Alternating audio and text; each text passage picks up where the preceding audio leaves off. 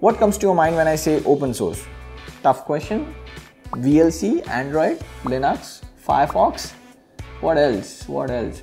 So, if you have run out of names, I'll tell you some cool open source apps which will put popular Android apps to shame. But before that, why all this open source and fuss? Mostly they are free, you don't get any ads or tracking, and they are better than popular alternatives. But best of all, you support a huge community of awesome developers who are cool enough to not send your data to Chinese servers. So let's get started with some of the popular open source apps.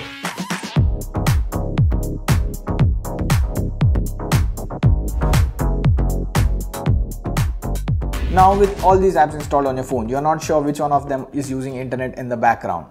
It not only affects your mobile data but is also a major privacy breach. So I use NetGuard to block applications from using the internet in the background. For example, let's take a popular phone which is known for showing ads in the gallery app, video player and even lock screen. So now when I block the internet for these applications, the popular phone can't show me ads there. Smart. I don't need to say anything about the Facebook app. You all know how good it is. I just couldn't live with the battery drain and its background processes on my phone.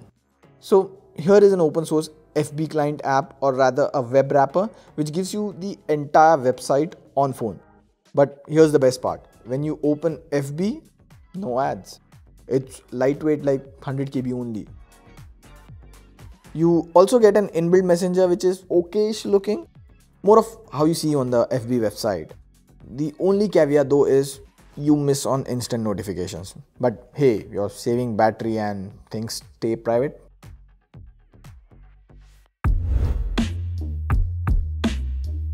Now let's talk about the launcher on your Android device. You might argue on anything, but at least you would agree that the stock launcher look is the best.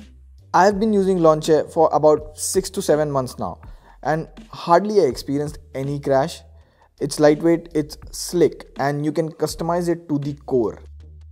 Hang on, let me show you rather. I use Spotify a lot, so I have to set it to trigger when I double tap on the home screen. And if you're wondering, yes, you can back up your launcher settings and restore them on other devices.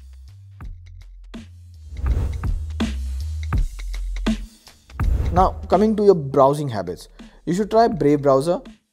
Well, Brave browser is quite popular, but nonetheless, the list would have been incomplete without the mention. In case you don't know about the ad-free Brave browser, it is based on Chromium. So the look and feel, the shortcuts are all similar to Chrome Android. And before you ask me in the comments, Desktop Sync is in beta and yes, it does support progressive web apps. You just have to enable it in the flags. Most of us stick to Google Photos or the native gallery app you get with the OEM. Some of you might be using QuickPic, but you know the Cheetah mobile fiasco. So as a replacement, I jumped onto Simple Gallery Pro. On Play Store, it's paid, but if you download from F-Droid, it's available for free. It has the same material design like QuickPic, although you lose out on some features like cloud storage, Google Drive connectivity, but what you get is total privacy, no ads, and plus hidden folders.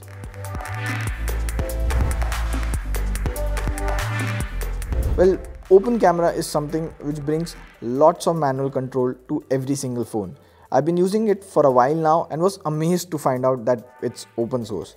Now, the UI is one thing which is not extremely amazing, but the rest of the stuff like manual controls, raw video mode, custom bit rates, and FPS settings are just awesome. To give you a better picture, here is an actual picture. So the video you see on the left is from the native camera app and the one on the right is from open camera since you have a lot of details at your disposal the color grading looks amazing with the raw footage one handy little feature is external mic support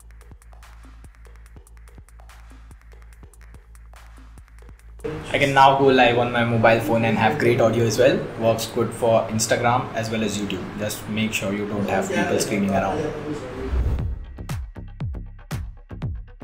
Now Tor is not just an app, but it's an entire community, the Tor community. For a long time, people who have been using ORBot to connect to Tor network on Android had to use a separate browser called ORFox. This recently changed few months back with the Tor browser which does both in one app. It's still in alpha phase, so not high expectations, but I like it.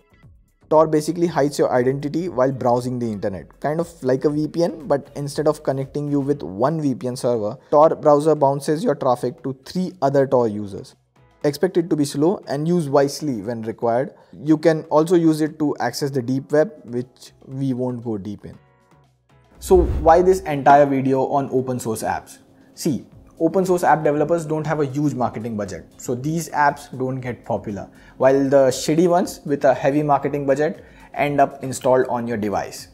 So we are here to make a change. Share this video if you care about the open source community and we are doing a live video this month. So keep those burning hot red questions below in the comment section and don't forget to add hashtag ask techwiser and this is it from me see you in the next one